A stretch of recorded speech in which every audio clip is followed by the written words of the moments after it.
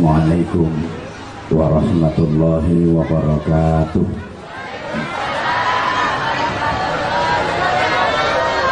Bismillahirrahmanirrahim. Alhamdulillah. Thumma alhamdulillah Thumma alhamdulillah Wa syukru lillah والخير والشر بمشيئة الله. أشهد أن لا إله إلا الله وحده لا شريك له. وأشهد أن محمدا عبده ورسوله لا نبي بعده. اللهم صل وسلم وبارك على طه رسول الله. وعلى ياسين حبيب الله سيدنا ومولانا محمد بن عبد الله وعلى آله وأهل بيته وأصحابه ومن والاه ولا حول ولا قوة إلا بالله. سبحانك لا علم لنا إلا ما علمتنا إنك أنت العليم الحكيم. رب اشرح لي صدري ويسر لي أمري واحلل عقدة من لساني يفقه قولي. واجعل لي وزيرا من أهلي أما بعد. Hadratul Muhtaramin Kunjuk wonten ngarsanipun. Sagumin para alim, para bapak kiai, para ibu nyai Para masyayikh, para asatir, sesepuh, ugi bini sepuh. Ingkang tuhu pinabekten, ingkang kula ta'limaken Ingkang tansah dipun mulyakaken Allah Penjenenganipun Bapak Kepala Desa Soho Sedoyo perangkat desa ugi tokoh-tokoh masyarakat ingkang kula hormati. Kanca-kanca panitia kanca-kanca banser ingkang kula tresnani. Hadirin hadirat muslimin wal muslimat para bapak para ibu dulur-dulur kula ingkang hadir wonten majelis mulia dalu menika. Mugi-mugi sedaya tansah pinaringan rahmat barokah saha ridhanipun Allah Subhanahu wa taala. Gandeng acaranipun syukuran boten wonten ingkang langkung afdol. Boten wonten ingkang langkung utami lan prayogi kita aturake wonten kesempatan ingkang sae menika. Kajawi sarang-sarang monggo. Sedaya kenikmatan. Ingkang sampun kaparingaken.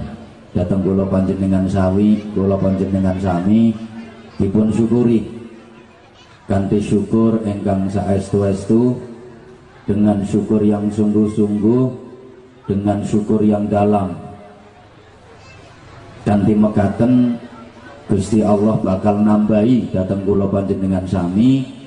Kenikmatan-kenikmatan ingkang langkung kata kenikmatan-kenikmatan ingkang langkung ageng. Sesuai janji pun Allah la in syakartum la azidannakum. Demi yakti lamun padha gelem syukur sira kabeh atas nikmat-nikmat peparingku Monggo ingsun Allah temenan bakal nambahi kenikmatan-kenikmatan mau. Ana wong diulangi ngeten niki kadang-kadang gremeng. Eh, aku kok gak kurang-kurang leh syukur. Oleh apa-apa ya alhamdulillah, oleh apa-apa ya alhamdulillah. Tapi kok ora tambah-tambah. Kok pancet wae. Nun sewu Bapak Ibu, wong syukur sing bakal ditambahi dening Gusti Allah. Niku wong syukur sing ora arep-arep tambahan. Nek arep-arep tambahan malah ora ditambahi. Tak baleni tak baleni. Pengumuman. Wong syukur sing bakal ditambahi Gusti Allah niku wong syukur sing ora arep-arep tambahan.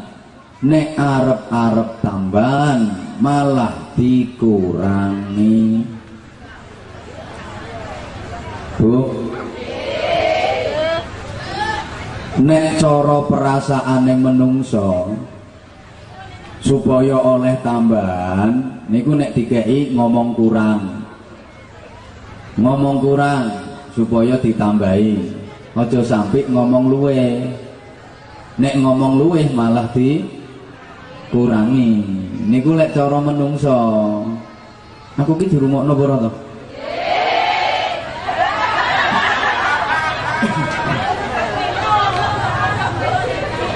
Tapi nek urusan kalau Gusti Allah mboten. Sampeyan diparingi nikmat kalih Allah kok ngomong luwe niku malah ditambahi karo Gusti Allah. Tapi nek sampeyan diparingi nikmat Allah lah kok ngomong kurang malah dikurangi. Gusti Allah gayane ngono kuwi wis tak titeni kedhe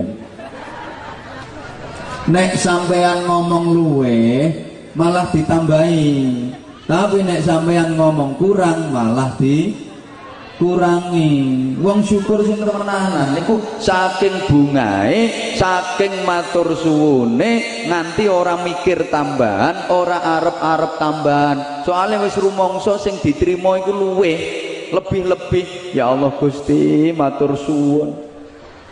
Antase kula mawon no Gusti kok jenengan paringi nikmat kados ngaten kathah kula isin Gusti kula mboten pantes nampi nikmat ngaten menika kula niki sering melanggar panjenengan. Kula sering supe kalih panjenengan tapi jenengan kok mboten supe kalih kula Gusti? Kula sering mboten nurut perintah jenengan. Lah kok jenengan paringi mawon? Kula isin kula tesih sering maksiat. Wong kula niki lek enten bokong gedhe nggih tasih kula ploroki enten tiyang orang genah tasih kula loke kula rasani. Gusti kula sik diparingi mawon isin Gusti. Niki katang ngoten niku sing bakal ditambahi Allah. Lah nek wong syukur mok gayane tok, nggih mboten ditambah. Lah wonten to nggih tiyang syukur tapi gayane tok. Hede oleh piro-piro ya disyukuri alhamdulillah. Engko cek ditambahi karo Gusti Allah. Niku mboten tiyang syukur niku wong mancing Gusti Allah. Gusti Allah lo dipancing nganggo alhamdulillah. Nah kita dijebak alhamdulillah terus Gusti Allah kejebak. Terus sama dikai cukup muni alhamdulillah. Ngono. Hmm, hmm. kok nyimut? Tuh Mau lah kula aturke. Nek urusan karo menungso, kuwi nek pengen ditambahi ngomong kurang. Kurang aku, kurang ben ditambahi. Aja ngomong luweh. Nek ngomong luweh malah dikurangi. Tapi nek karo Gusti Allah mboten. Lek sampean diparingi nikmat Allah, sampean gelem ngomong luweh, atine rumangsa luweh, malah ditambahi. Tapi nek sampean ngomong kurang, malah dikurangi. mulane Allah pesen ten kula panjenengan wa amma bi ni'mati rabbika fahaddits lo gak nyaut wa amma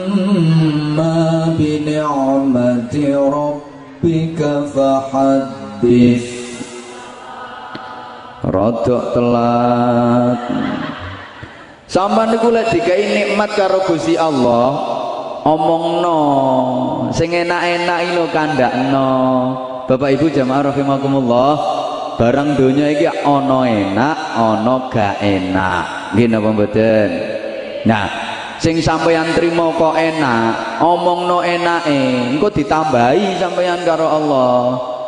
Sing gak enak gak usah diomong, gak enak kok dibahas. Halo. Halo. Wong iku janji gelem ngomong enak, lak ditambahi. Mung karo wong kok padha wonge yo ngono. Ngomong enak engko lak ditambahi. Ana wong itu ana ngomong enak nang bojone, Mas, enak. Engko lak ditambahi.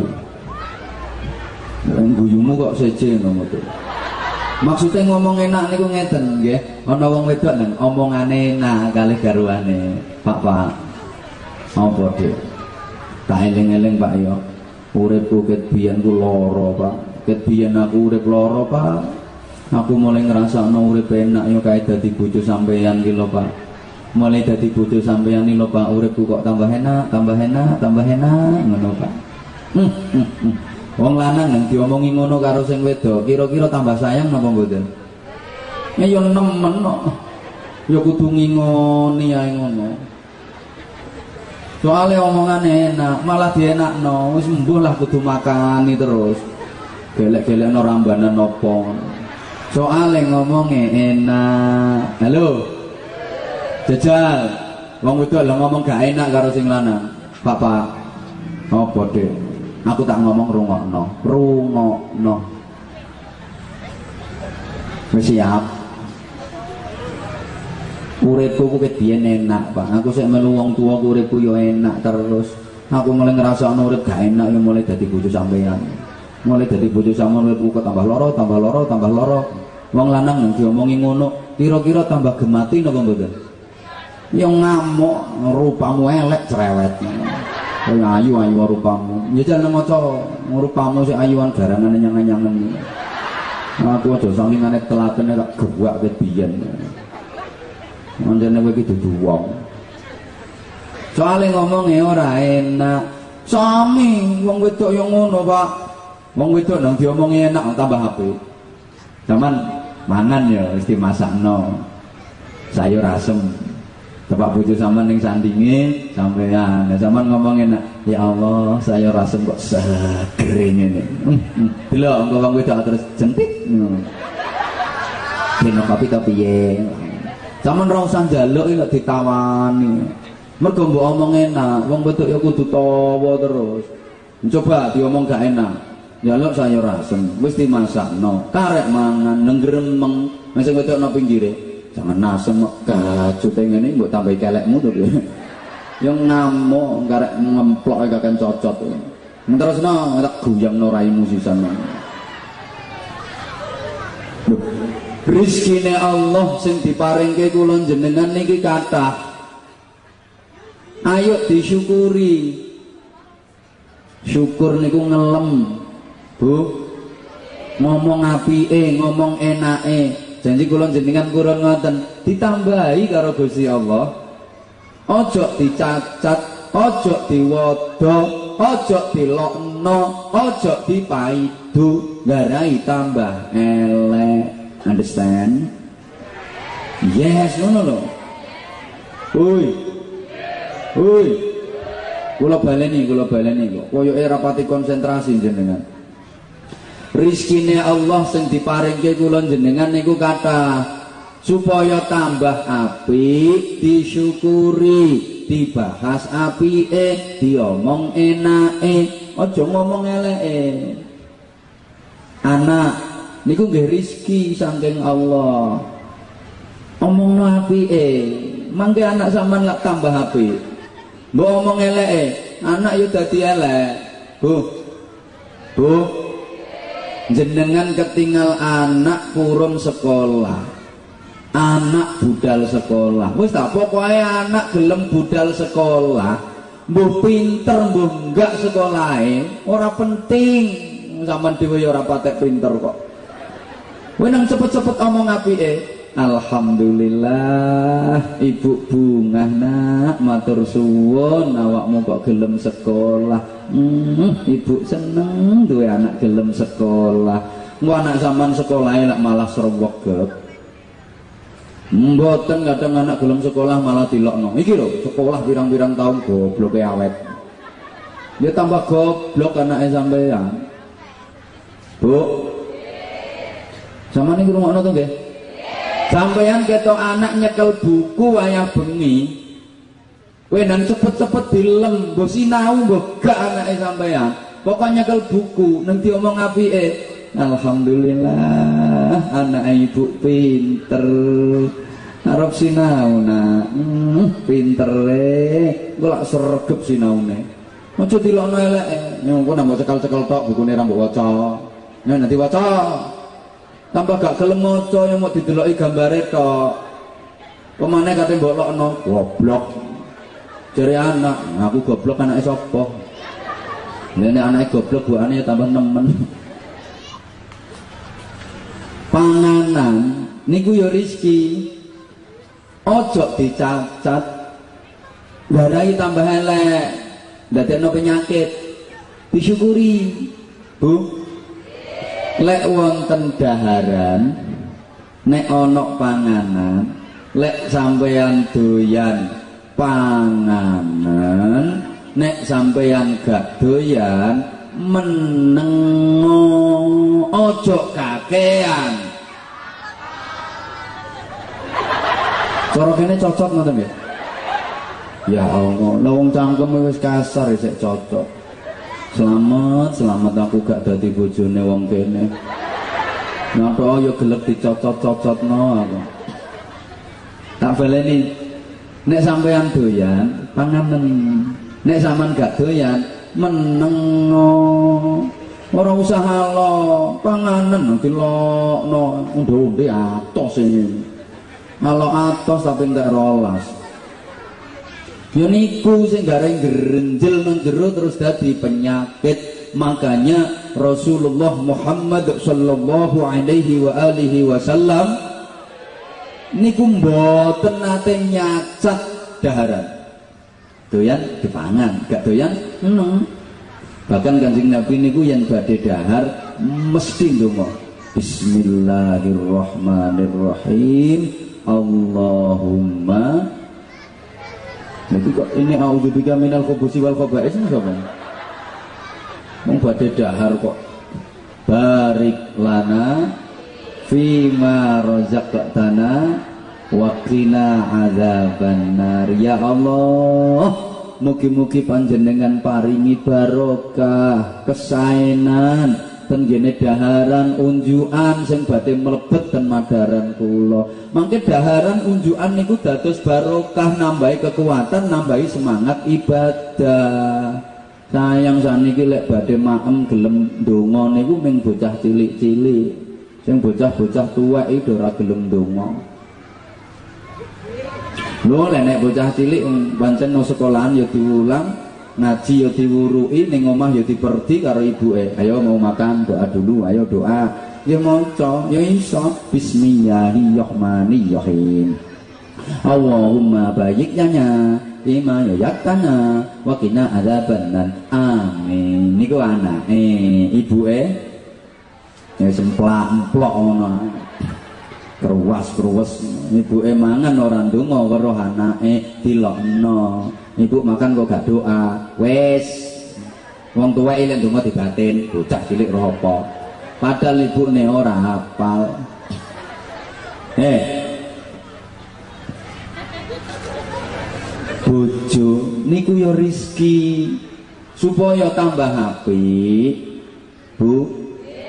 Dilem diomong api eh engko bojone tambah api aja diomong elek eh ibu iso beda kok aku takon jenengan jawab bu anak niku gadane jenengan napa titipane Allah titipane Allah bojo niku gadane jenengan napa titipane Allah titipane Allah. Lha sampean ya wis ngerti nek padha-padha titipane Allah, tapi kena apa sampean kok modele mban cinde mban ciladan, katik dibedak-bedakno.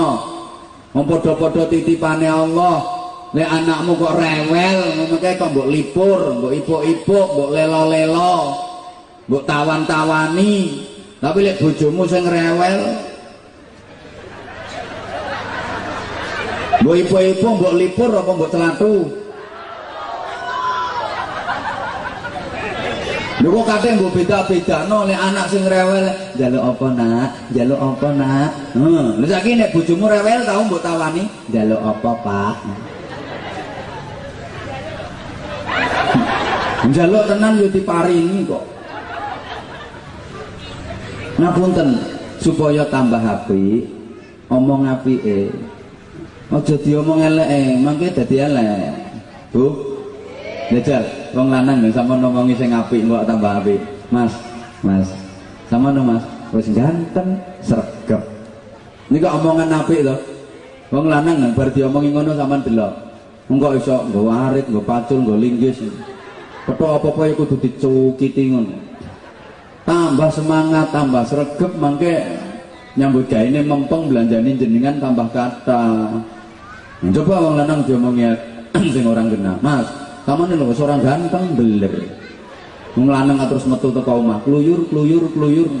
Lungguh no gerdu klenga klengo kaya wong bento anyaran ucul wis emoh apa-apa garing sampean Bapak istri juga begitu. Begitu kurang fase. Juga begitu. Wong wedok nanti omong api eh tambah HP diomong eh dadi elek. Niki ulang deh diceritani wong. Ana penyanyi penyanyi. Neng senengane kok nyanyi lagu sing sedih-sedih. Titeni kon nasib kaya sedih-sedih soalnya dia senengane nyanyi lagu sing sedih-sedih. Akhirnya nasibnya yang sedih. Contoh Ayu Ting Ting radhiyallahu anha. Wong nyanyi kok alamat palsu.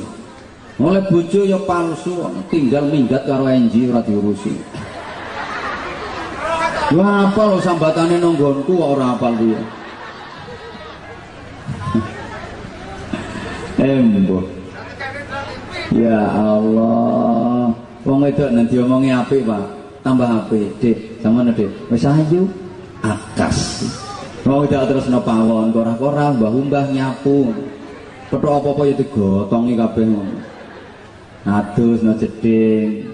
Andukan mlebu kamar ngoco no petak, petok nang ngarepe kaca. Tambah ayu bojone sampean. Nanti omong eleke. Dik, sampean lho, wis elek. Wong wedok terus klimpruk kelimbang kelimbung moh wah apa masa yang moh kon adus yang moh. Dek wis dalu gak adus. Mah wong elek adus. Tambah kita elek ya paham nama badan kok gak pati ngereken toh bu. Saman garap bojo, niku padha karo saman goreng kerupuk. Saman goreng kerupuk loro nonggone wajah. Niku nasibe kerupuk ora padha endi kerupuk sing mbok utek-utek? Iku sing bakal mekar. Sing mbok jarno yo mengkeret kok. Bojo yang ngono mbok utek-utek mekar. Iso molor ngono. Kebagusane tambah apik soale. Sing gawe apik sinten Gusti? Nomor mbok reken yang mengkeret kok. Eh mbok rati no. ayo. Disyukuri. Pun tak saelek-eleke barang niku lek dipadosi kok metu apike. Nggih napa mboten? Saelek-eleke barang niku lek sampean padosi mangke lek metu apike. Lha nek wis ketemu apike disyukuri. Alhamdulillah wong barang donya niku padha karo nangka duren ngoten niku Bu duren niku enak napa mboten? Lho ora nyaut. Iki kok umek ya apa to nggih nangka niku enak napa mboten? Enak. Lek ora mbok pangan kabeh. Panganan sak kulit-kulite nongko niku enak.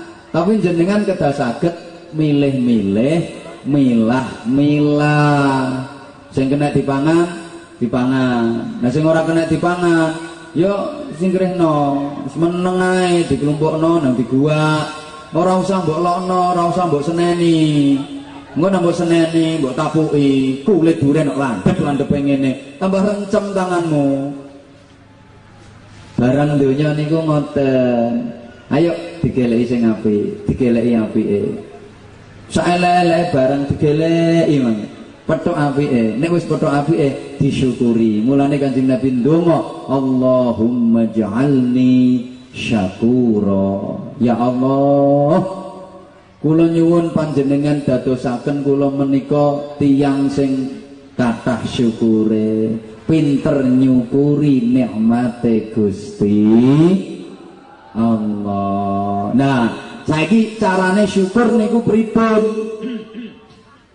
Pertama nek syukur nikmat sing rupa bondo donya ya sebagian di sedekahno jariyahno infak cara tanah diwakafno ngeten iki di antarane bentuk syukur sik kula takon dijawab ya sing banter lek jawab.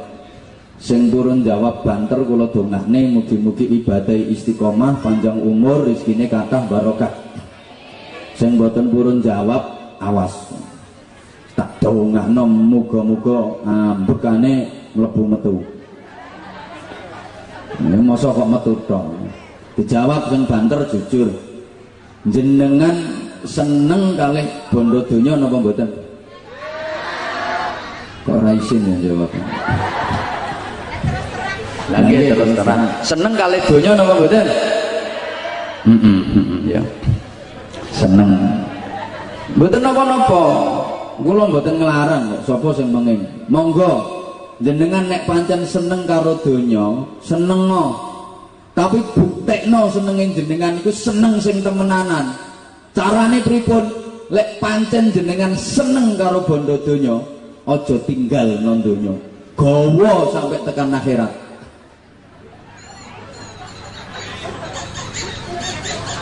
Halo? Lah nek mbok tinggal niku berarti senenge ora temenanan wis mbok tinggal kalau memang betul-betul cinta bawa serta selamanya gowon tekan akhirat. Aja mbok tinggal nang donya. Gowo sampai tekan akhirat.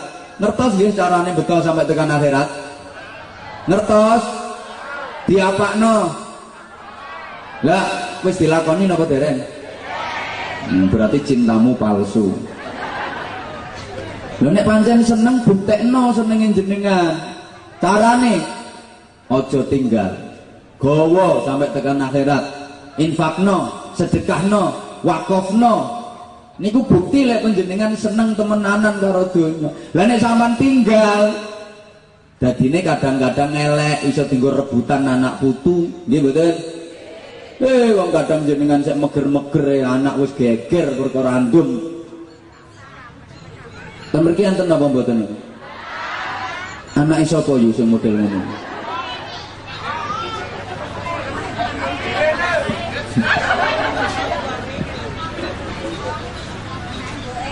Buktekno senenge niku gawa tekan akhirat. Ambekan maneh lho. Bondo donya sing diinfakno sing disedekahno. Niku mboten kalong malah dadi akeh. Di sebagian harta benda titipane Allah datang kulon jenengan. Niku wonten sing dudu hae kulon jenengan Hai fakir miskin, hai anak-anak yatim, hai musola, masjid, madrasah diniyah, TPQ. Nah, carane aja disimpen wong awak dhewe ra melu berhak kok. Culno. Nek disimpen dadi penyakit, nek ditokno malah dadi tambah akeh. Allahumma sholli ala Muhammad.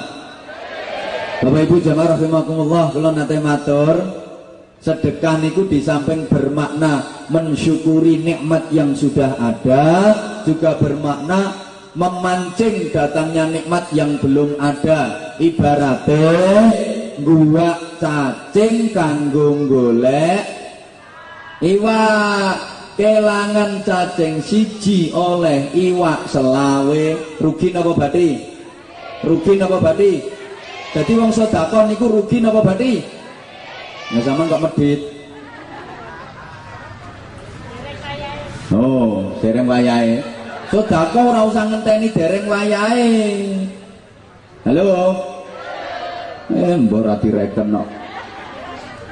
Bati boten kira rugi rugi sawangane jenengan nak nganggep rugi to lah nek ditokno terus ya bangkrut boten sapa ngarani bangkrut Hui coba ibu jenengan gawe kolek 10 mangkok sing sak mangkok wae kanggo panjenengan lah sing sangang mangkok iki ndum-ndumno tanggamu niku mangke jenengan termasuk jumlahe wong batin apa rugi Lho, lambemu lak ngomong rugi to. Eh ya rugi. Wong 10 mangkok kok awak dhewe mek uman sak mangkok kenaken tangga. Kok kenaken piye to? Jenengan boten rugi, malah bati. 10 mangkok sing sak mangkok kanggo jenengan, sing sangang mangkok ndum-ndumno tangga. Jenengan boten rugi, demi Allah tambah bati. Mangke sing mlebu omahe jenengan iki ora mek kolek tok. Ya ana salak, ana pisang goreng, ana ayam. Wonge bar mbok kei kolek kok. Lu sampean kelangan kolek sangang mangkok. Ki engko sing mlebu ning omahe sampean ora mung trimo sangang mangkok kolek tok, tikel matikel. Ana ayam, tonggo mbelih ayam jenengan ya diwewehi. Soale wonge bar sampean kei kolek. Nek tonggo teko pasar kok tuku apel, sampean diparingi apel, tonggo bar sampean kei kolek. rugi napa bati hmm, sekaruan bati ngono ya emane dudu-dudu mau kula aturke nggih enten mriku rumus agama niku mboten sami kalih rumus matematika ekonomi. Nek ekonomi niku Bu satu tambah satu mesti sama dengan dua. Tapi nek agama mboten. Satu tambah satu kadang-kadang jumlahnya itu likur Kok iso? Nggih. Siji imam siji makmum. Wong salat jamaah pikantuk ganjaran pinten derajat? Lho niku siji tambah siji sama dengan likur. Kadang-kadang siji tambah siji sama dengan ngatus. Siji sing paring sedekah, siji sing nampi sedekah. Niku ditikelno ngantos ngatus. Ngono, paham napa mboten? Nek ekonomi songo dikurangi siji kantun pinten? wolu tapi nek agama songo dikurangi siji iso dadi atusan ewu eh ora ngantuk ya wis aku takon dijawab ya jenengan gadah pitik babon songo dikurangi siji iso takono tangga kampun pinten niku babone? Wolu piye to? Babon wolu ki akhire do rabenan do ngendok do angkrem terus do manak dhewe-dhewe. Iki dadi pirang-pirang kok. Lho nek ekonomi songo ditambah siji sama dengan 10 tapi nek agama kadang-kadang songo ditambah siji sama dengan 0 entek Taman duwe pitik babon songo ditambah garangan siji. Entek. Paham betul ya wes wis paham. Nomor loro syukur rupa nikmat kesehatan zahir batin. Niku carane ya ayo nyocoki karepe Gusti Allah mengikuti kehendak Allah. Apa to tujuane? Kula sampean didadosaken menungso dening Allah. Wa ma khalaqatul jinna wal insa illa liya'budun.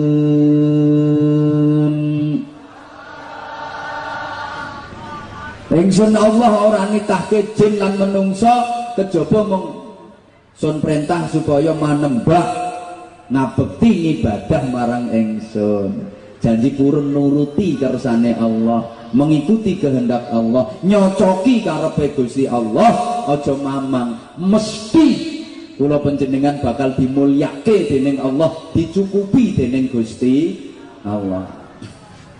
Lah wong sing uripe paling enak niku wong sing cukup, Bu. Mula Kanjeng Nabi Muhammad sallallahu alaihi wasallam dawuh tuba liman hudiya lil Islam wa kana aishuhu kafafan. Bejo kemayangan bejo banget. Wong sing oleh pituduh agama Islam terus uripe diparingi cukup. Wong sing paling enak niku wong sing cukup. Cukup niku mboten kudu kata cukup itu ndak harus kaya raya Bukti nih, banyak orang kaya yang merasa tidak cukup. Kata napa mboten wong sugih sing rumangsa ora cukup. Kata apa maneh wong melarat.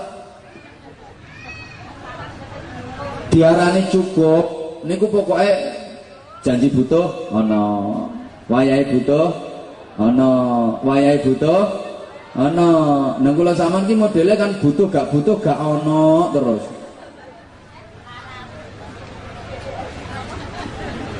Eh, kepingin cukup dimulyake Allah, ayo manut kersane Allah, nyocoki karepe Allah, mesti diramut karo Gusti Allah, dijagi kalih Allah, dimulyake kalih Allah. Tak paringi contoh, Bapak Ibu para sedulur ingkang kula hormati rahimakumullah.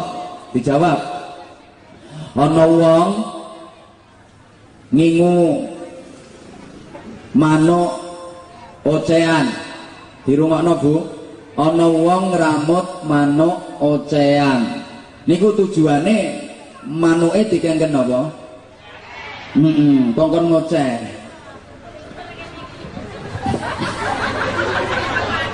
Eh lah kok manuk dituku regane larang? Pancen manuk ocean tujuane ya dikongkon ngoceh. Regane larang ditumbas manuke ngoceh apik. Janji diketheki nang ngoceh Subhanallah. Niki sing gadah manuk niki kira-kira seneng napa mboten?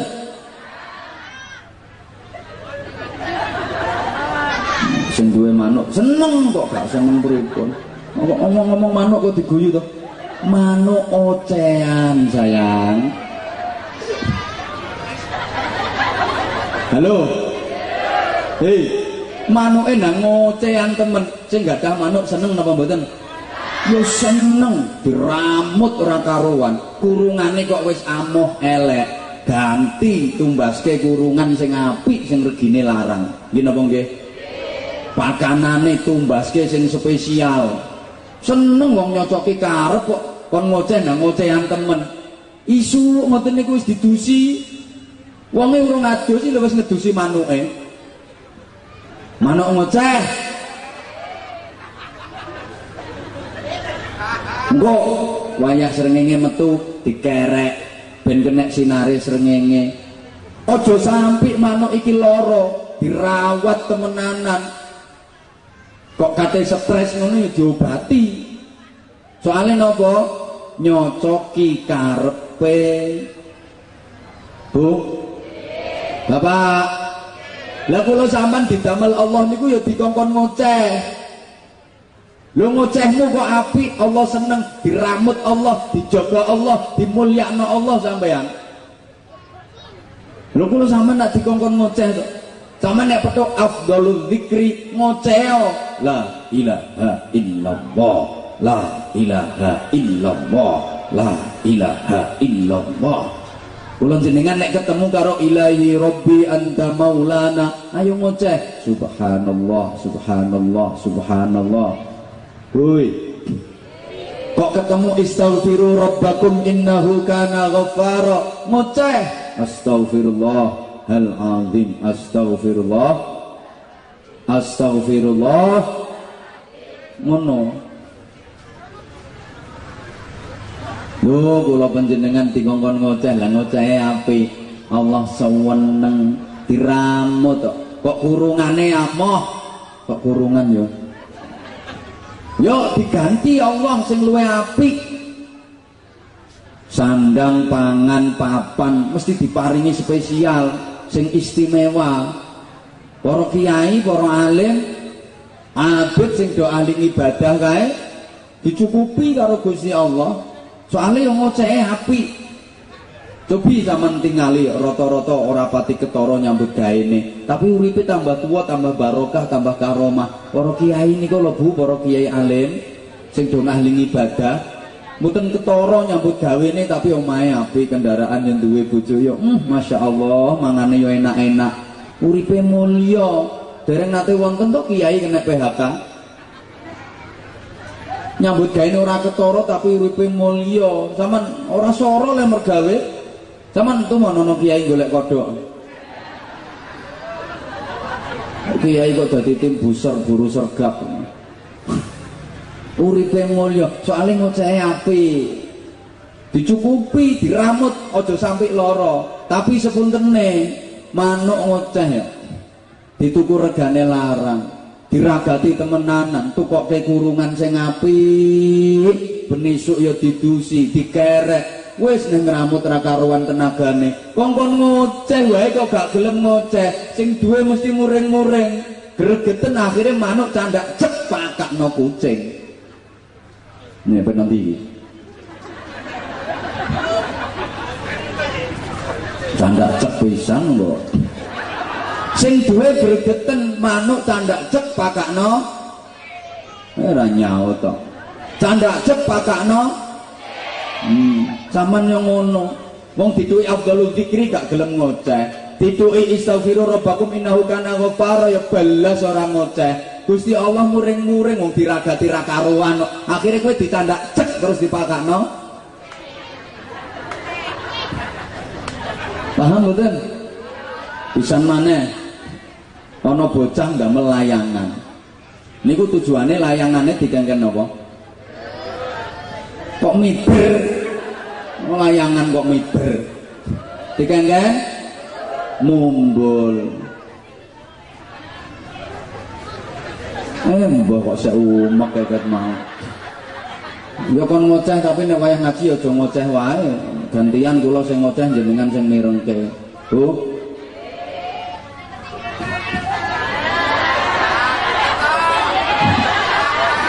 Wis sak sawang. Modele iki lho. Ya wis aja ming ngoceh tok. Tak baleni aja ming ngoceh tok. Manuk manuk ngocehan ngoceh apik jangan hanya ngoceh tok. Tok niku saja. Lah saja niku ya tok. Aja ming ngoceh tok manuk sing apik ben sing duwe tambah seneng niku kudu iso melakukan gerakan-gerakan yang indah. Di samping ngoceh ya kudu entul-entul jendit-jendit entul-entul jendit-jendit kudu lincah. Loh manuk kok lincah kok? Yang ngocehan ya lincah. Entul-entul jendit-jendit entul-entul jendit-jendit sing duwe tambah seneng. Wah guyumu kok gak enak di rumah kuping? Lo maksudmu apa entul-entul jendit-jendit itu? Kayak di samping berzikir dengan ngoceh tadi sekali-kali ya orang sekali-kali kudu sering melakukan gerakan tulung-tulung jendit-jendit kowe nek bengi tangiyo wudu nang terus madhep kiblat sholli sunat tahajud Allahu akbar. Bareng ngono kan terus entul-entul tidal jendit-jendit lha kuwi jenenge entul-entul jendit-jendit pikirane iki lho. Niki sing duwe malah seneng. Halo bro. Saya tak teruske layangan mau.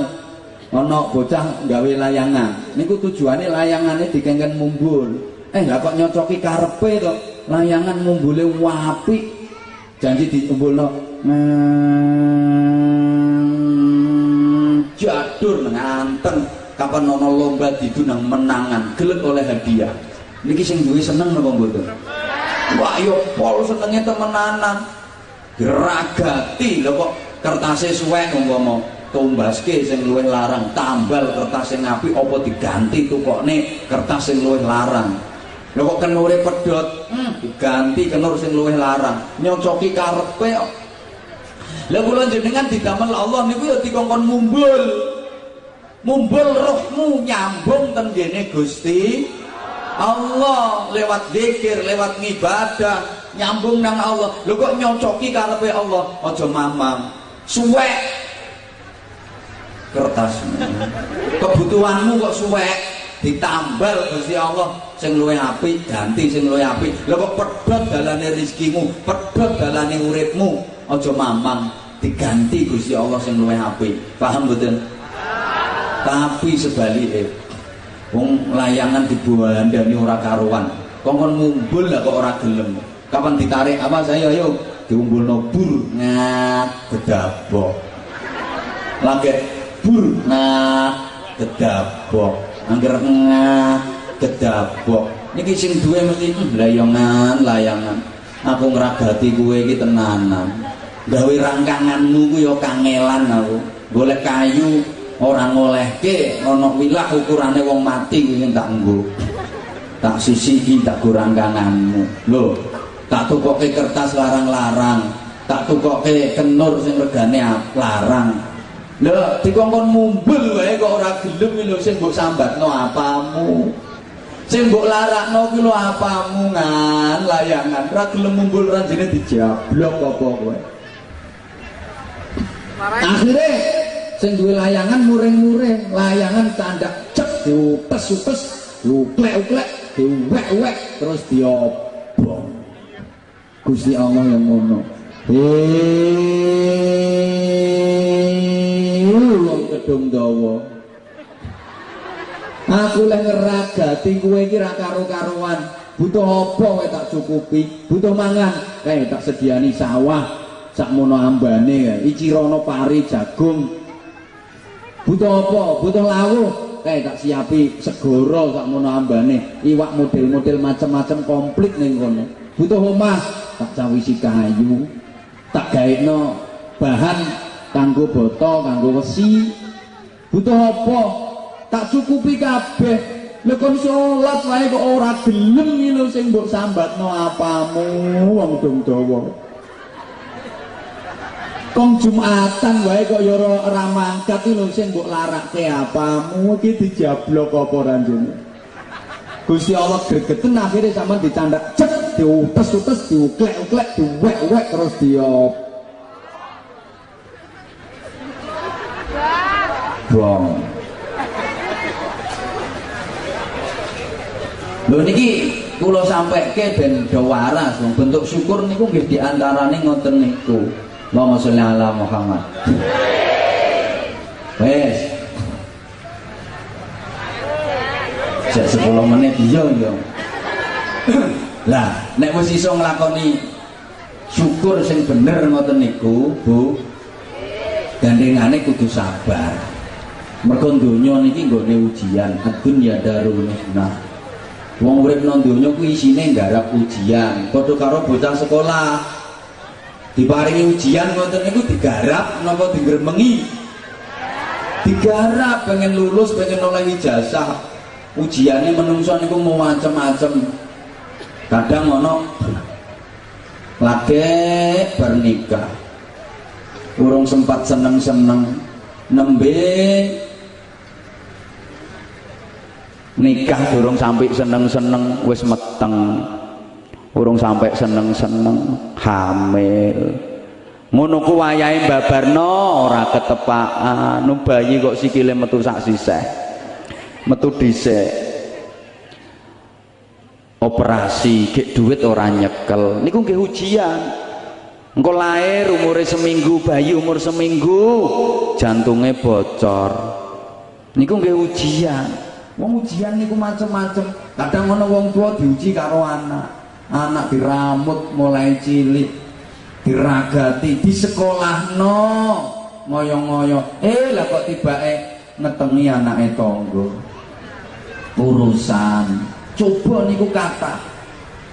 Ono wong iku dicoba karo bojo ono sing lanang api sabar ahli ibadah sing wedok ya Allah kerenge kaya asumana ora kena disenggol. Anggar sing lanang merek ora usah.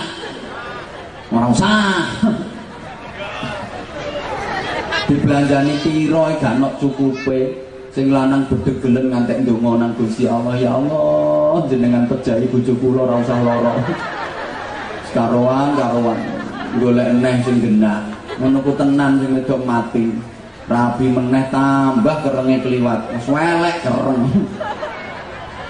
Kadang sing dicoba sing wedok ngono. Sing wedok ku ahli ibadah.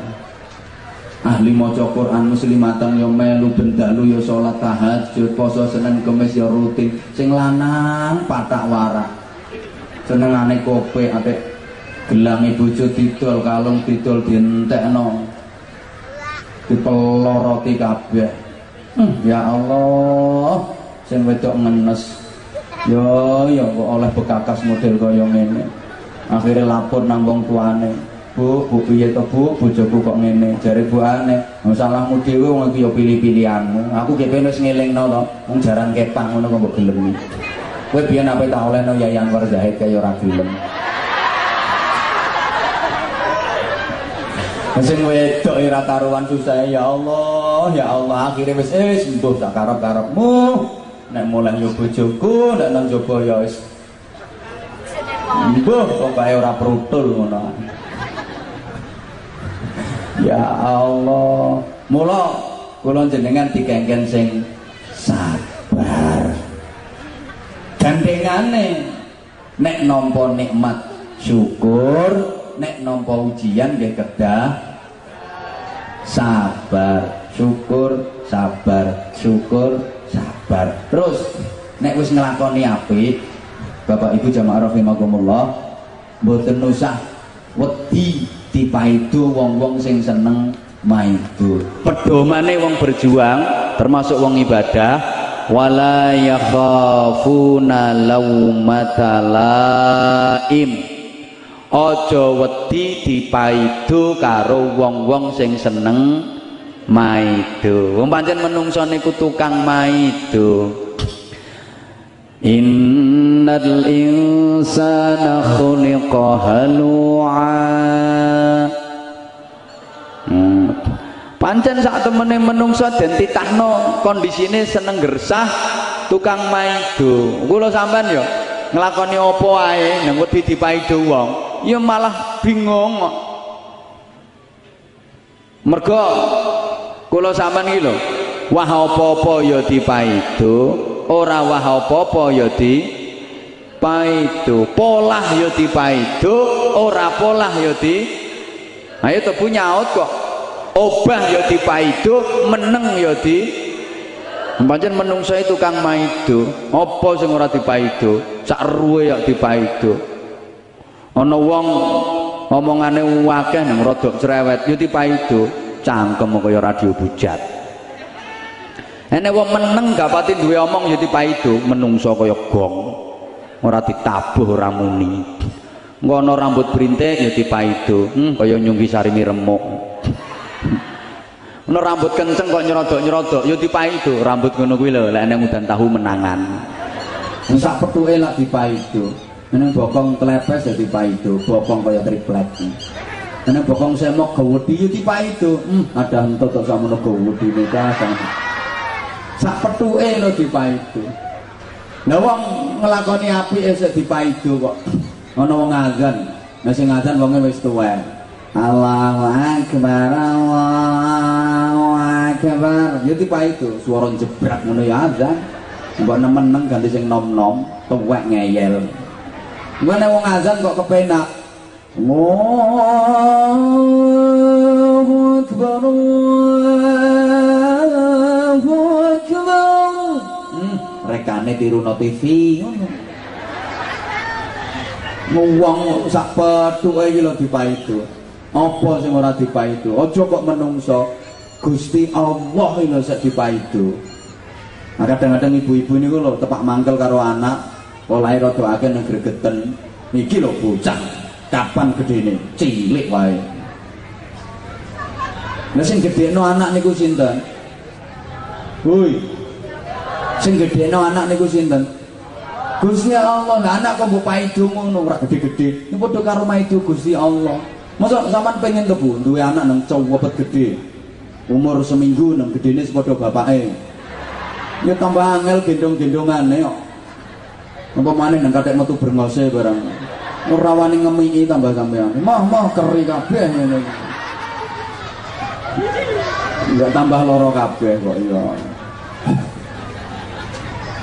Mulane aja pisan-pisan maido, bapak-bapak wong ora oleh maido bojo.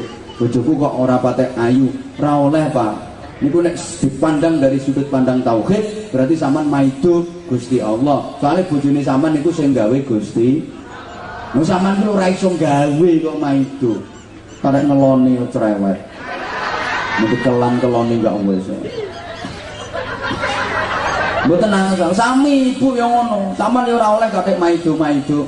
Bojoku lho gantenge kok ora kaya Pak Anwar. Ngono ku ya ora oleh. lho umpama kuwi kuwi padha karo maido nang Gusti Allah kok ya Lha wong pancene ngono sak petuke ya dipaido eneng umpama ya eneng duda nang wis rada tuwa. Ngono ku rabi maneh ya dipaido ora rabi ya di. Wis ngono ku pancen wong kedung dawa seneng maido. Umpama nang rabi maneh dipaido hmm, lah ya lek lek kowe iki wis tuwek ape apa wis mambun lemah ngono neko neko terus apa mbok apakno bojomu apa mbok apakno. Ngono ku ora rabi ya dipaido lah ya to lek samane lho wis tuwek kok seneng ngewoy-woy anak. Kok sek melu anak mbok nang rabi. Lah nek sampean rabi kok sing ngramut sampean nek ya bojo sampean. Wis tuwek ngebut-ngebuti anak. Anakku yo urusan dhewe. Nek sampean duwe bojo enggak sing masakno bojo sampean, sing mbah-mbah pakaian mak bojo sampean. Lho. Ora nikah ya dipaido, nikah ya di kaya ruwet. Wong ora gelem ngaji ya dipaido. Ngaji to yo wong ora gelem ngaji. Aku ki jane ya seneng ngaji, Dik, tapi aku ki ngantuk. Ah. Ngantuk kaya kowe kok ngaji. Hmm, melok ngaji nang ngantukan, ya dipaido. Ngaji kok merem to yo. Nuruti wong. Mulane sampean yo jajal. badhe pados mantu nang musyawarah karo wong sak kampung.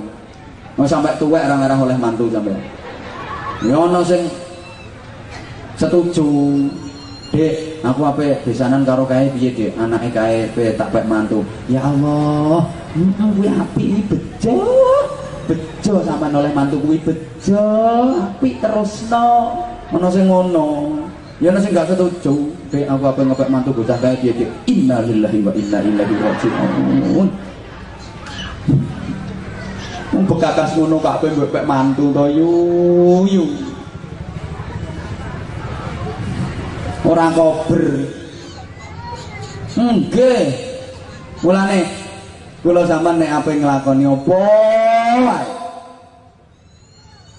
Selama niku wis apik mungguhe Allah, bener mungguhe Rasulullah, sae mungguhe agama, apik mungguhe akal. Ayo dilakoni.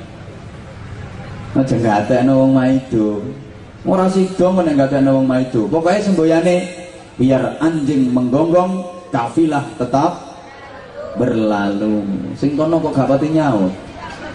Biar anjing menggonggong, kafilah tetap berlalu. Anjing niku gambarane wong elek, kafilah niku gambarane wong apik sing berjuang. Ben anjing menggonggong, kafilah tetap berlalu. Kenapa kafilah berlalu? Karena anjing menggonggong. Kenapa anjing menggonggong? Karena kafilah. Kenapa kafilah terus berlalu? Karena yang menggonggong anjing. Kenapa kafilah tidak ikut-ikutan menggonggong? Karena kafilah bukan anjing. Kalau sama-sama menggonggong berarti sama-sama nono.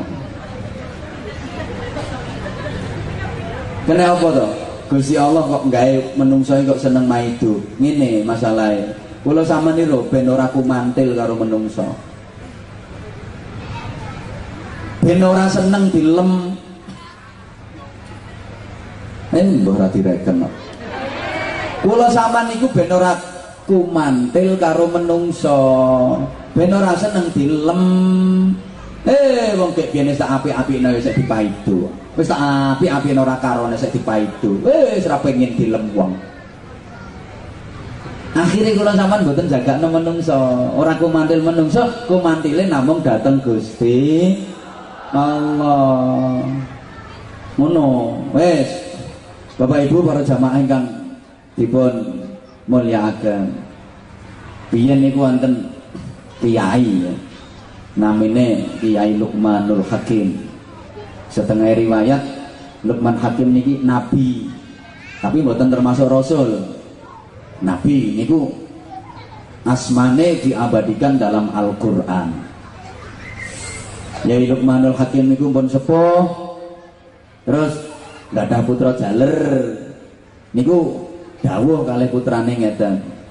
Le bapak ki wis tuwa dilungkas bapak pensiun.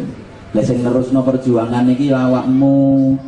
lah bapak pesen le sok nek awakmu berjuang selama sing mau lakoni ku apik bener mung Allah mung Rasulullah. Apik mung agama. Apik mung akal. Lakonono aja wedi dipaidu wong. Wong apik ya dipaidu elek ya dipaidu sama nek ngrungokno to ya? Pokoke lakonono selama iku apik cocok munggu agama munggu akal. Lain orang cocok ya kadang-kadang dilokno pantes tuh adol es niku hukumnya haram apa halal? Halal tapi kok nang wayah subuh adol es jadi itu ya pantes. Wayah ketiga ke adol jasudan. Menurutku tipa itu ya pantes. Bon, dituturi ngoten awakmu nek nglakoni apa wae? Berjuang selama iku wis bener mungguwe agama bener mungguwe Allah mungguwe Rasulullah apik cara masyarakat cara akal. Lakonono aja wedi tipai wong. Nggih Bapak. Tapi ya Lukman Hakim niki sik bimbang anakku ki paham ora? Tak omongi ketoke kok melongo kaya wong dunggawa engko nang ora paham Hmm, ketok sing melongo mboten ngrungokno keterangan kula malah terpesona dengan wajah saya. ngeten, ngeten. Akhirnya dijak praktek, wis dipraktekno, tidak ra paham ini gak dipraktekno. Dijak lunga silaturahim ten keluarga. Nah, sesuk ayo silaturahim nang keluarga. Nggih Bapak, Zaman semono dereng ngeten kendaraan, mobil nurung ono, dijak numpak jaran. Kalih Yai Lukman Hakim sengaja dipilih ke jaran sing cilik rada kuru. Diomongi anake, "Nak, iki jarane cilik, kuru, gak kuat lek ditumpaki wong loro. Ya yuk gentenan. 100 meter bapak sing numpak sampeyan sing nuntun Nah, engko nek wis oleh 100 meter, bapak mudun nuntun, sampeyan sing numpak. 100 meter meneh, sampeyan mudun nuntun, bapak sing numpak. Gentenan nak ya, soalnya jarane cilik guru, gak kuat ditumpaki wong loro. Nggih, Bapak. Ya wis aja wedi dipaidu wong lho ya. Mboten, Bapak. Saestu berangkat. Bapaknya numpak dhisik, anake sing nuntun. Hmm, hmm, durung 100 meter wis dipaidu wong. Hmm, ya ya wong tuwek kok ngono. Kok mentolo karo anak. Anak dikongkon nuntun kok dhek numpak ongkrak-ongkrak ning dhukur. Wong tuwa apa? Wong tuwa kok mentolo karo anak, ora sayang karo anak. Piye nak dipaidu ora? Nggih Bapak, dipaidu wong. Nah terus saiki piye nak? Pun Bapak gantian mawon. Jenengan sing mudhun nuntun kula sing numpak. Ya wis, anake numpak, bapake mudhun nuntun. Durung 100 meter, paidun neng karo wong. Hmm, anak kurang ajar. Nek wong tuwek kok diploro dikongkon nuntun dhek metengkrik numpak jaran. Niku nek anake wong ra tepak ya ora ngono. dipaidu piye nak kon gak dipaidu hmm nggih bapak dipaidu tiyang nah saiki piye nak ben ora dipaidu pun bapak ditumpaki tiyang kalih mawon tumpaki bareng mawon bapak. Numpak wong loro. Lagi 5 meter dipaidu wong eh yo yo bintu kok bareng. Anak sak bapak nih apa do bentone ngono kok jaran gede lemu pantas ditumpaki wong loro. Lha wong jaran cilik kuru kok ditumpaki wong loro. Kok gak duwe ngesakno nang jaran? Anak sak bapake padha bentone piye nak itu wong? Nggih bapak? Itu tiyang bapak. Lha piye nak supaya gak itu? Pun bapak tuntun wong loro mawon boten usah ditumpaki. Akhirnya medun karo nuntun karo. Lagi 5 meter paidun nek karo wong. Hmm, nggo jaran nek ngono? Monggo jaran kok terima dituntun. Gawe apa? Monggo jaran kok terima di tuntun tumpaki gak ya lumayan. Ora kuat wong loro. Ya gentenan. Lho balik asline neh lah. Ora kuat wong loro ya gentenan. Kok dituntut? Ki apa jaran paido wong. Piye nak dipaido? Nggih bapak. Dipaido tiang lah piye nak supaya ora dipaido? Pun bapak digotong mawon bapak. Akhirnya jaran digotong wong loro. Oleh 10 meter paidu wong neh lah iya lah iya. Jaran kering kok dioyong-oyong ngalor ngidul mbok jarno ning omah delekno kandang. Jadi kok nuruti dipaido wong? Ora sida apa-apa tambah bingung. Allahumma sholli ala Muhammad. Pokok sing kula jenengan lampahi niku bener. Wong aku ndelok jam-jamku dhewe kok geger kok. Terus napa mboten? Nah, niku para kiai siyen, para salafus salih niku nek ngekei piwulang model ngoten niku. Bahkan kadang-kadang nganggo model kebijakan yang ngerangkul semua lapisan. Niki sing kudu diteruske. Maka saya pernah sampaikan masuknya Islam ke Nusantara ini tidak melalui kekerasan, tanpa konflik, tapi melalui persuasi kebudayaan yang sangat lembut. Kalau matur persuasinya ini paham napa mboten jenengan? Iya pancene ora pati cerdas yang di lewat silaturahim, lewat perdagangan, lewat pernikahan tanpa konflik Islam niku malik grimyang ten Indonesia sing biyane ateis ora kenal pangeran. Iku do macem-macem. Nah sing dirintis api karo salafus saleh ku saiki do diwarnai pertentangan percekcokan. Niku mboten pas. Mung biyen niku dibedak-bedake. Tapi dipadukan ngono lho. Para wali nek berjuang lak nganggo tembang sing kata nggih napa nggih? Eh rapate nggih telat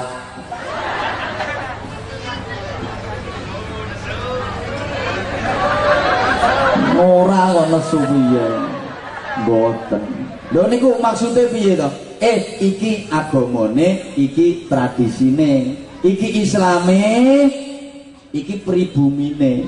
Ngono ku tidak dipertentangkan tapi dijodokno. Sehingga masyarakat niku iso nrimo dadi guyub rukun tentrem. Ora do seneng geger. Mulane zaman nek pengen kampungnya sampean desane samangi guyub rukun tentrem kuwi nek ngundang kiai aja angger. Nah iso ya kiai sing model ngene iki. Maksudnya model ngene iku ku model kebijakan para wali. Coba sih ngomong model Anwar Zahid? Model kebijakan para wali sing asale perenco-perenco pecah belah terus disatukan guyub rukun. Aja kok wis api-api bersatu di pidatone ngene-ngene malah dadi gegeran. Niku bukan dakwah tapi kesesatan. Ngono lho. Padane terbangan, kandruan, rebana. Woi. Woi. Lho, iku niku ya tinggalane para wali. Rebana dikeplaki niku. Lho, nek ngeplaki kok wong niku biadab jenenge. Wong kok dikeplaki, biadab. Nang karo para wali dialihkan, aja ngeplaki wong, ayo ngeplaki rebana diiringi solawatan. Jadi penuh nilai, penuh pahala. Paham? Akhirnya jadi peradaban, bukan kebiadaban meleh menjadi kebudayaan, menjadi peradaban. Tunggal ibu ngapunten bu, bu nyelatu bojo, niku yo biadab. Wong bojo sing ngetengi kuwe kok mbok celatu. Biadab. Nah akhirnya para wali bijaksana, ojo nyelatu, ayo dialihke, yuk digawe tahlilan wae, digawe yasinan, istighosah, manakiban, solawatan. Jika bibirmu itu penuh nilai pahala, understand? Namun kadang nganggo tembang, wonten tembang tinggalane para wali yang nganjuk ki yang seni mestine ya do iso. Enten tembang niku judule turi turi nggih. Caket napa mboten jenengan? Yang jajal diunekke. Nek cari iso kok. Allahumma sholli ala Muhammad. Ayo. Turi. Ayo to yu kok. Baleni turi. Terus ditandur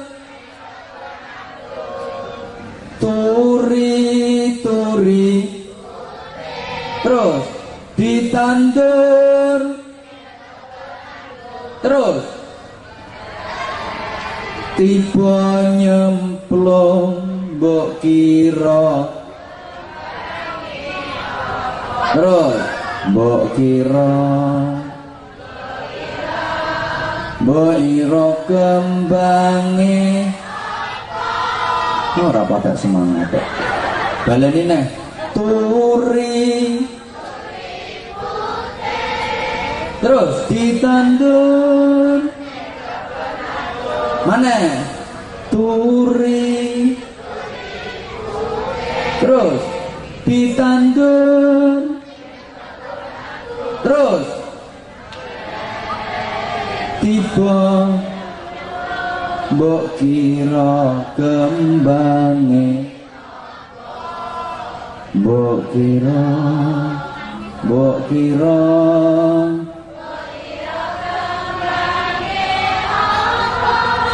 ngono ku ana judune Ya Rabbi ya Rahman. Iso. Eh ra iso ya wis. أنت منزل القرآن. أيوة بارن يا ربي. أنت منزل ارحمنا جميعا وارزقنا واسعا. يا الله.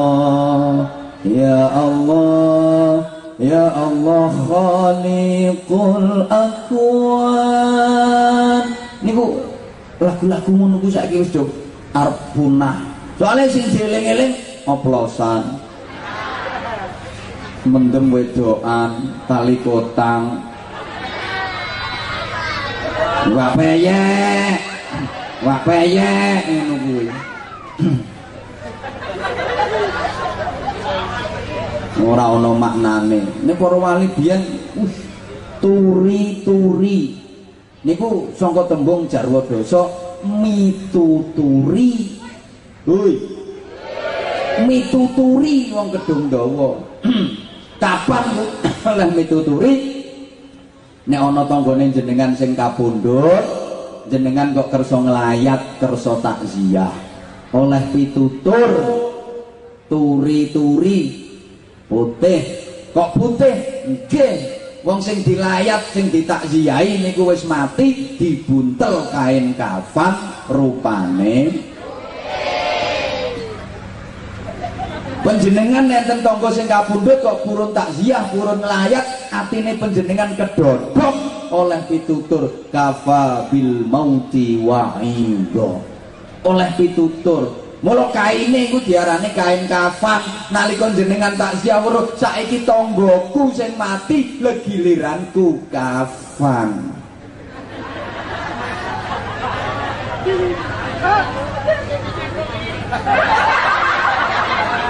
Wah aku nyeritakno jenengan kok. Kula trimo ngalah mawon. Lho, wong iki rata-rata kok wedi mati dhisik to. Padahal biasanya wong sing mati sik niku wong apik-apik. Wong sing kenceng-kenceng ibadahe. Nimbakno pring ngono kewenceng pringe dadi diketok dhisik. Lah sing bengkong-bengkong iki jarno sampai garing. Jarno sampai garing. Engko wis tuwek ketok-ketok ya diobong ke ngobong boto ke. Biang ora patek ana kanggone. Tapi nek duwe aji-aji Pontosonyo ku ya kewenceng lurus tapi manggone no tengah. Hmm, angel ketok-ketokane kok. Kenceng lurus tapi nggone nyelempit no tengah kok. Ngetok ayo ngenteni sing garing-garing dhisik bongkotan-bongkotan pinggir lah niku model kaya kula niku. Dadi Oh, nakalan apa ini. Lho niku turi-turi putih. Kula sampean oleh pitutur. Nah, turine putih mang gambarane wong nek wis mati dipuntel kain kafan rupane putih. Terus ditandur no kebun. Lho kebun kok jagung niku ya kuburan kuwi soalnya sing ditandur dudu dele dudu jagung dudu kacang hijau sing ditandur apa kok ora nyaut to sampeyan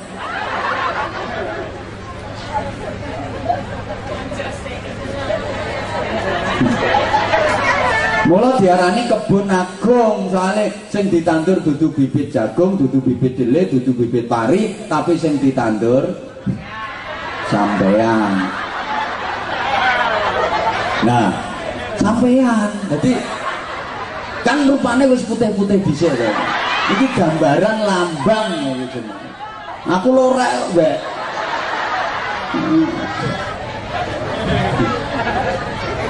Kok putih-putih?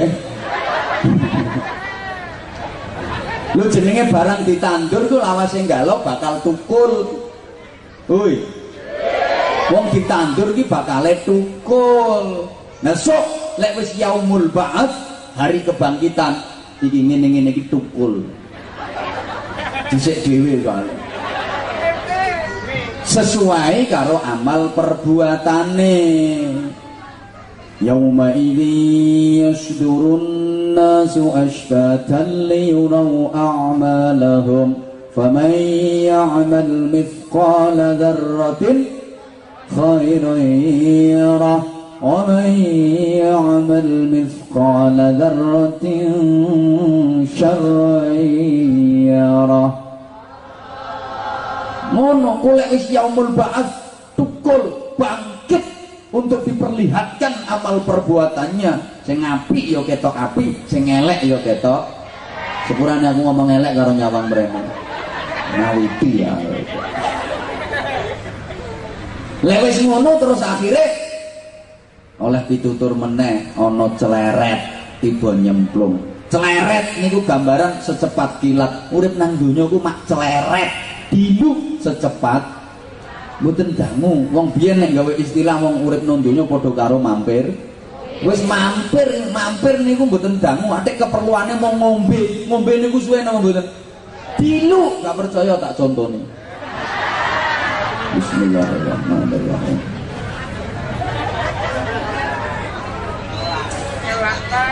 Loh dilu loh. Wong mak celeret mawon mak celeret secepat kilat dilu mula aja gumun aja kaget barang donya ku ya mung mak celeret. Kaya ngene-ngene iki biyen. Nalika nom-nomane Masya Allah mencutno wong. Mak celeret bareng wis tuwek. Kowe saiki ya Masya Allah medeni wong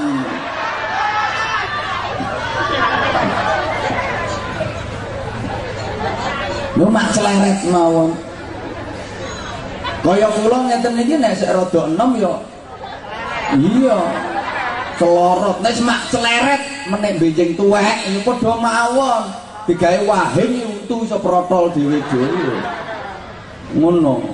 Tiba nyemplung, nyemplung nondi ya ana luwang lahat nanggone luwang landak. Nek wis dicemplungke luwang lahat, luwang landak diuruki dikubur dicepi patok patoke loro. Nek patok siji jenenge tenger nek patok loro jenenge tenger. Tenger. No kono ku nggone wong tenger. Tenger. Ngono. Judule tekan kono. Lho nek wis ngono kok pitakone mbok ira kembange apa? Lho kok kembange apa sing ditakokno? Kembang iki basane nyek sekar. Woi kembang itu kan bosone sekar. Mula wong ziarah kubur niku nek cara nganjuk diwastani nyekar. Lho kula jenengan lek nyekar kono kuwi kok akhire oleh wewangian. Eling. Iki nalika sik urip biyen labete apa jasane apa ngibadahe piye. Kula sampean berharap wewangian nalika ziarah kubur nalika nyekar. Iso nerusno perjuangan. Ini kados sing wakaf kangge musala niki oleh wewangian yang luar biasa. Nek sampeyan yang mbok sampeyan piye dadine gak weruh wong medhitmu ra karuan.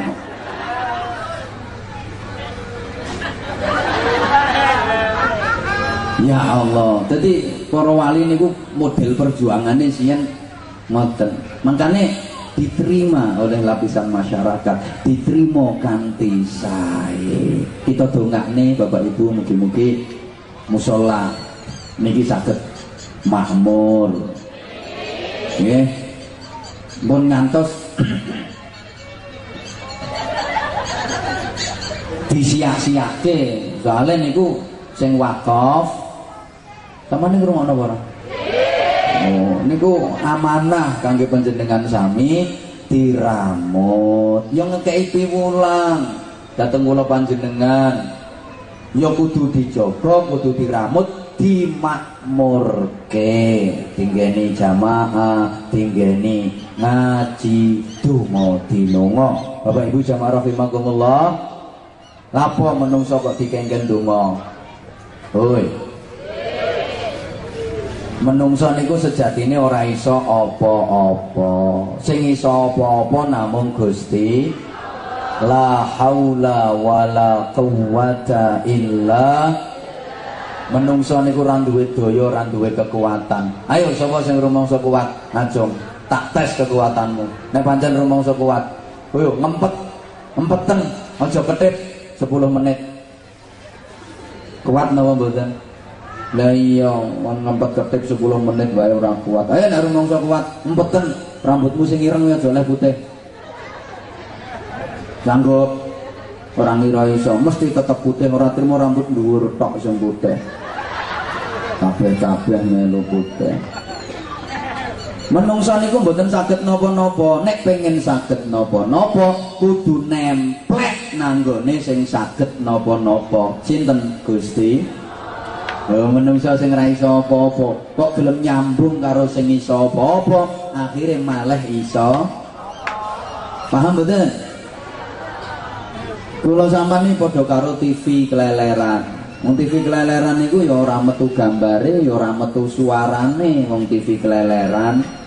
Lho kepengin metu suarane, kepengin metu gambare, kudu gelem nemplek nang kabel sing ana setrume. Eh, janji gelem nemplek nang kabel sing ana setrume, akhirnya malah metu suarane, malah metu gambare. Paham? Nek kula sampean ya gak iso apa-apa, gelem nemplek nang Gusti Allah, akhirnya iso apa-apa. Ngapunten Bapak, kadang-kadang kok eh nuturi bojo ora mempan. Wong wedok dituturi malah banter bali eh. Nate napa mboten? Nate wong bojomu model ngene-ngene iki. Lu kena apa sampean nuturi kok mendal, kok ora direken, ora digugu, soalnya sampean orang duwe setrum. Lu nek kepengin mandi, eh, sampean kudu nemplek ten gene setrum. Kudu setrum listrik, Bro. Setrum listrik yo kejet-kejet kowe. Setrume ya iku Gusti. Mangke ora mandi sampean sing mandi Gusti paham betul artinya eh nek apa nuturi bojo pamit Gusti Allah. Aja lali maca bismillah. Bismillahirrahmanirrahim. Nang terus nuturi de aku tak ngomong rungokno mandi orang mandi sampean tapi mandi Gusti Allah. Eleng-eleng Pak kapan-kapan nuturi bojo. A'udzubillahi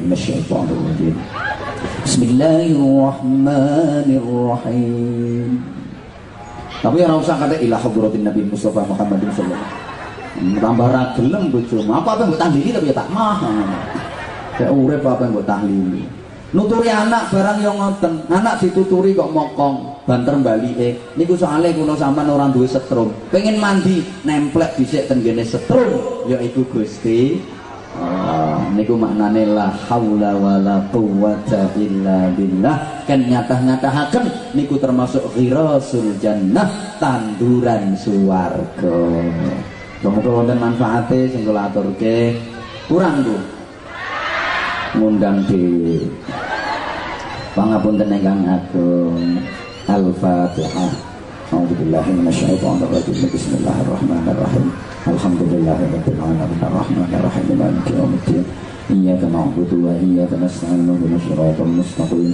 صراط الذين أنعمت عليهم غير المغضوب عليهم ولا الضالين. رب اغفر لي وللمؤمنين آمين يا رب العالمين.